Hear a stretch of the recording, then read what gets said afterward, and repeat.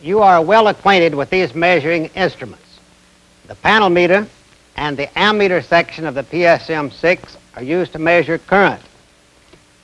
The voltmeter section of the PSM6 measures voltage, and the ohmmeter section measures resistance. These meters are intended for day-to-day use in common electronic circuits. They serve this purpose very well, but they are not precision instruments. In most circuits, the components have a wide tolerance, so there's no need of measuring exact values of current, voltage, and resistance. For instance, when we are measuring this 15,000 ohm resistor, we'll be satisfied with any reading between 12,000 and 18,000 ohms. This one measures 14,000, and that is very good. But there are many situations where precision measurements are necessary. At times, it is necessary to measure values of voltage, current, resistance, power, inductance, capacitance, and frequency to an accuracy of one-tenth of 1%. Such precision instruments normally make use of a special circuit which we call a bridge circuit. In this lesson, you will learn the relationship of current, voltage, and resistance in such a bridge circuit, as well as some of its applications. Let's see how a bridge circuit is constructed. For the sake of clarity, we will start with this simple series circuit and gradually build it up until it becomes a resistive bridge circuit.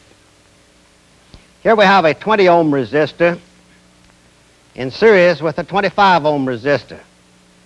This dropping resistor reduces the voltage. It is not part of our bridge circuit.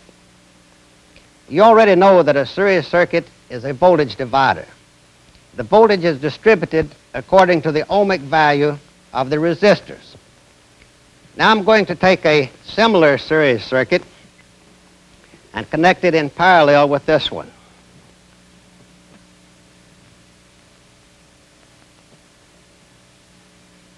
Now we have two series circuits in parallel with each other. Each circuit is a parallel branch. Let's measure the voltages. I'll set the meter to DC volts, the range switch to 10, and we will read the 0 to 10 DC scale.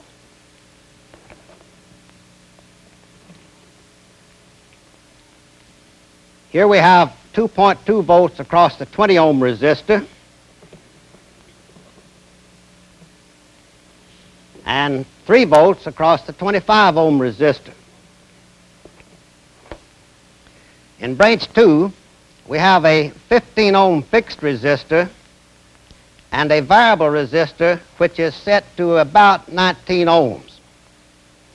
We have the same voltage across both branches and this voltage divides between these resistors. Then we must have 2.2 volts across the 15 ohm resistor and 3 volts across the 19 ohm resistor. Let's measure these voltages and be sure. Here we have 2.2 volts.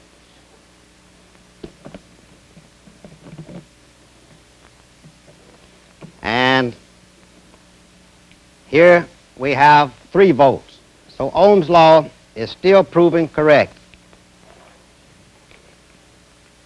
Since we have 2.2 volts across resistor A and 2.2 volts across resistor C, points 1 and 2 must be at the same potential. Let's verify that with the voltmeter. We measure from point 1 to point 2 and we get a zero indication. Since we have no difference in potential, we should be able to place a conductor between points 1 and 2 and have no current through the conductor.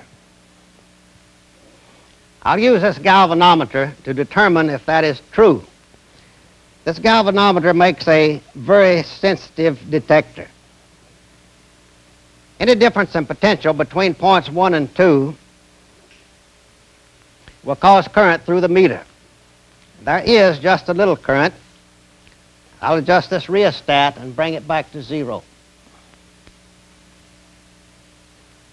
This circuit is now a resistive bridge. And since points 1 and 2 are at the same potential, we have a balanced condition. Voltage A is the same as voltage C, and voltage B is the same as voltage D. In this condition, we call this a balanced bridge. Notice that the bridge is composed of two branches, and a detector circuit divides the branches into two legs each. Legs A and B form branch 1. Legs C and D form branch 2. If we change the resistance of any of these resistors, we will unbalance the bridge and upset the ratios. Watch the meter as I vary the rheostat. As D increases, point 1 becomes positive with respect to point 2, and current flows through the meter from right to left. By decreasing D, we can bring the circuit back to balance and unbalance it in the opposite direction. Now, point 2 is more positive than point 1, and current flows from left to right. Notice that with a single control, we can cause current through the meter in either direction, and we can vary the quantity of current. This feature of the bridge circuit makes, makes it extremely valuable in many applications. One main purpose of such a circuit is to measure precise values of resistance. With a resistive bridge circuit, we can measure resistance values that are accurate to one-tenth of 1%. Let's examine the circuit again to see how this is possible. Voltage A is exactly the same as voltage C. We proved that in two ways. We measured the voltages and we have no current through the meter. This action also proves that voltage B is exactly the same as voltage D. This means that we have an exact ratio between voltages A, B, C, and D. This ratio is A over B equals C over D. It is not necessary that we know these voltages. If there is zero current through the detector, this ratio is always true. What does this have to do with resistance? We have a direct relationship between the resistance and the voltage. The voltage which appears across a resistor is directly proportional to the resistance.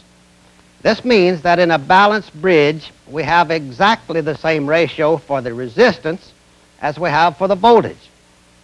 With this ratio, when we know the value of any three resistors, it is a simple matter to calculate the value of the fourth resistor. Don't allow yourself to become confused when you see these resistors numbered other than with our A, B, C, D designations regardless of what the resistors are called, our ratios of A, B, C, D will hold true. Just remember these positions. The resistance in this position divided by this one is equal to this value divided by this value. When measuring a resistor, we may insert the unknown resistor in any position. In most cases, it is placed in the breech with the variable resistor. The variable resistor is then adjusted until we have zero current through the meter. Now our ratios are correct. The variable resistor generally has a calibrated dial, so we will know the value of three resistors. We simply substitute these values into the equation and solve for the unknown quantity. Now let's remove this galvanometer and use a motor as a detector.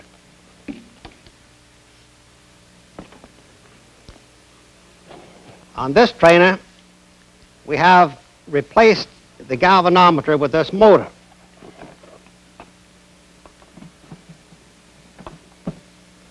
Suppose that this motor is a motor used to correct the trajectory of a missile. When the missile is on course, the bridge is balanced and the motor does not turn.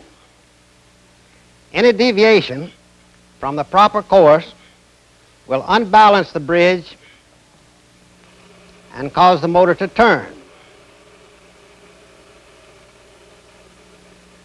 Off course in one direction causes the motor to turn clockwise to protect the, to correct the course. Off in the opposite direction causes the motor to turn counterclockwise to correct the course.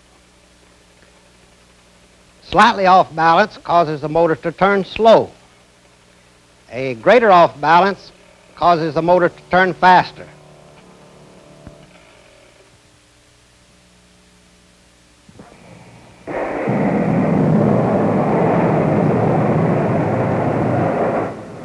Bridge circuits will be encountered in space vehicles.